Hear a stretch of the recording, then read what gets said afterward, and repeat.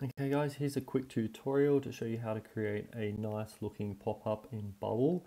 So the first thing we're going to do is grab our pop-up element. Okay, so what we want to do here is change it to a column just to make it nice and responsive. Um, so we want to make it full width and change the background to none uh, make sure there's no box shadows or anything like that. Um, roundness you can leave. So this is basically an empty pop-up. Okay, now we want to grab a group, drag that into our pop-up, and we want to then make the minimum 200, maximum width 500.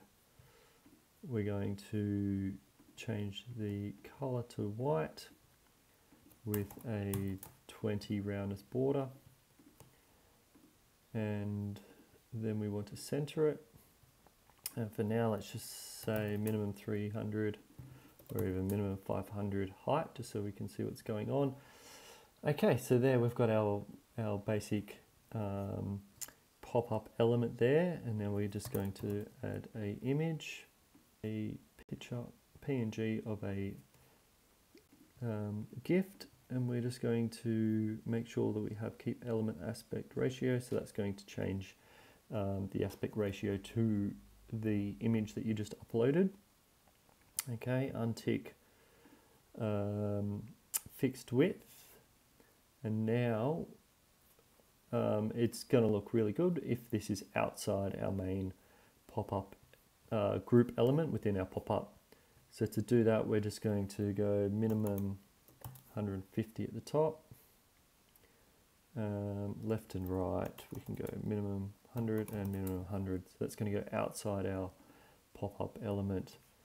Now we do need to um, make sure that we stay within. So we're going to put a padding on our pop-up of um, 150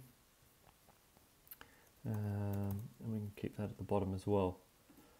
Okay, so let's just have a look and see what that looks like. Okay, so that's looking pretty good. Now we want to add some text here, um, maybe something like get up to, now let's center that, make that a bit bigger.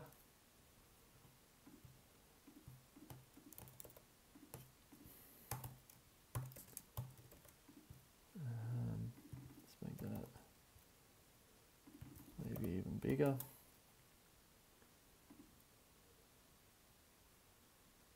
Um, let's make that red. Copy and paste.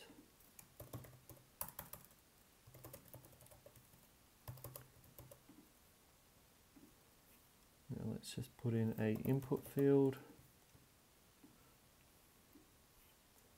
So this can be email and a button element.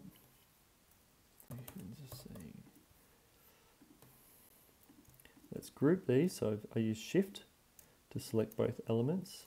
Right click, group into a column.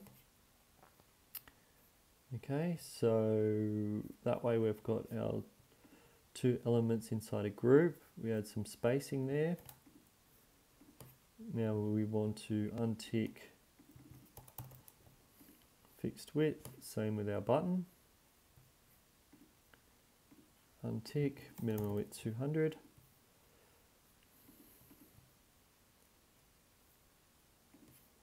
Okay, so that way we can just add padding left and right. So let's go with 50, 50, um, 20, 20. Oh, sorry, I put two instead of 20 there. Okay. So that's looking pretty good. Let's have a look and see what that's like.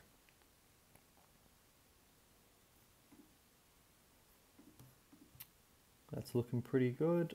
Uh, I might just change the color of our background there. Let's just do a bit of a blur. Okay. And our color can be 40%.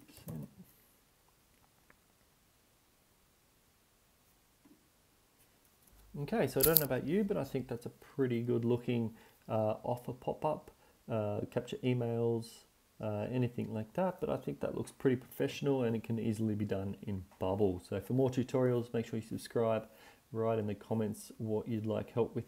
Um, I'm pretty keen to do some series on design elements uh, for a little while. So um, yeah, just sort of helping people create um, beautiful looking bubble apps. Cheers guys.